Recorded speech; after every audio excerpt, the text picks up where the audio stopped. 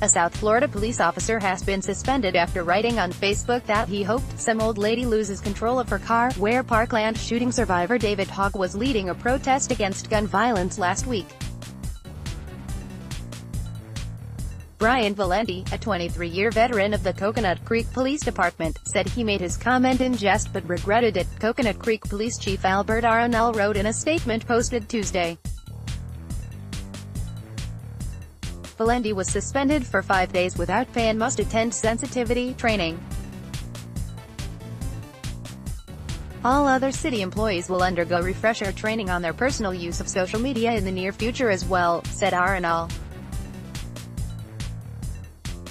Protesters stage a die-in protest at a Publix supermarket in Coral Springs, Florida, after the grocery store chain gave political contributions to an NRA-backed gubernatorial candidate. As chief of police, I sincerely apologize to anyone who was offended by Officer Valenti's post, Arenal said. I am accountable for the actions of all employees who work the police department. A law enforcement officer is always held to a higher standard, as each one should be. The Coconut Creek Police Department was one of several law enforcement groups that responded to the shooting at Marjory Stoneman Douglas High School in Parkland in February. Arenal said he has approved Valenti's request to personally apologize to the event's organizers. The chief added that if he believed Valenti's post was truly a threat against the safety and well-being of another individual, his employment would be terminated.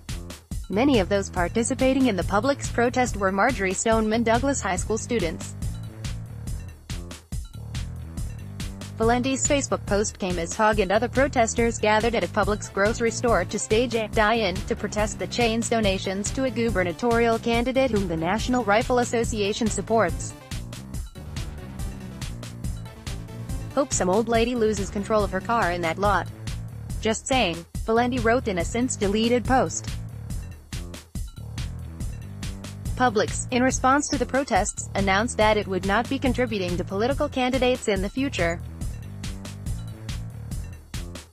Related coverage Florida cope in trouble after wishing car accident on gun violence protest Publix suspends contributions to NRA-backed politician amid protests shoppers boycott Publix over stores donations to NRA-backed candidate Republican mayor who taunted David Hogg to now face a recall vote download.